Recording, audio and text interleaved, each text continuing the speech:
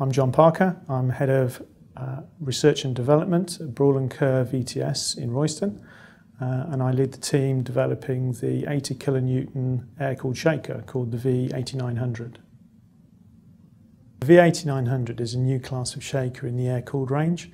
It brings new capabilities to our customers in terms of its shock performance, stroke and overturning moment.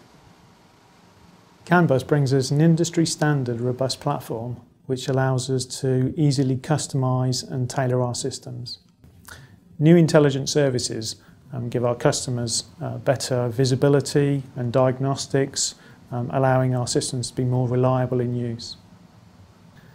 Using CAN bus and sensors together um, give us much simpler systems to install and maintain, giving better overall system reliability. So the V8900, it's feature packed, it's configurable, user-friendly interfaces, and it's built on reliable technology.